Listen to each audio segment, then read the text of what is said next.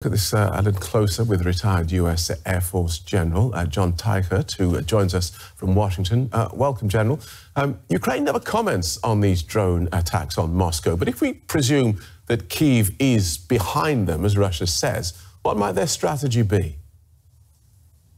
Absolutely, and thanks for having me. And I think maybe their strategy is twofold. Number one, to make psychological blows to the narrative that's coming from Putin that proves that this war isn't going swimmingly for the Russians and to prove that the Russian population is actually at risk. And then secondarily, I think that they are making practical strides via drone attacks to cut off logistical lines or to interdict them. And just a couple of days ago, an attack on a Russian airfield allowed them to destroy one strategic bomber and to damage four. And I think the combination of moral and practical effects of these drone strikes is having a good effect according to Ukrainian strategy. And psychological blows rather than trying to actually destroy the Kremlin? I think that if they could, they would make those attacks as potent as possible and make real strategic gains there.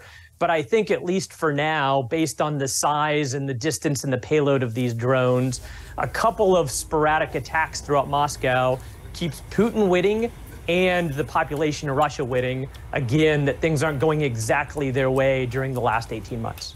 Uh, Germany's foreign minister ha has said that uh, if these are Ukrainian drone attacks, then they are uh, then they are legal under international law. What's your assessment?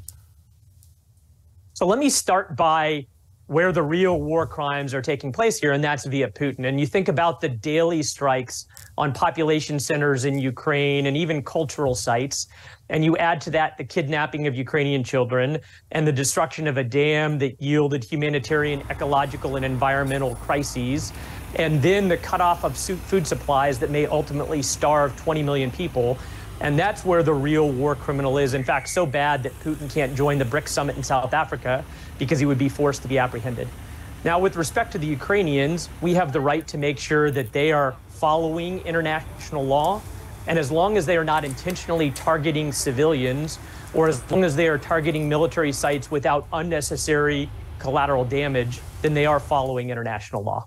Right. Uh, and we've seen drone strikes from both sides increase over recent months. Is this as simple as because they are cheaper, a, a cheaper form of warfare? I think it's a combination of it's less risky to personnel and it's less expensive, and these drones are extremely capable. The United States, as an example, and our NATO partners have been using drones to good effect, not just for intelligence, surveillance, and reconnaissance, but for their strike capability now for a couple of decades. And I think that as those drones get less expensive and smaller, then they can have very good effect. And I think both the Russian side and the Ukrainian side realizes that. Good talking to you. Thank you for that, uh, General. Retired U.S. Uh, Air Force General John Teichert. Thank you, sir.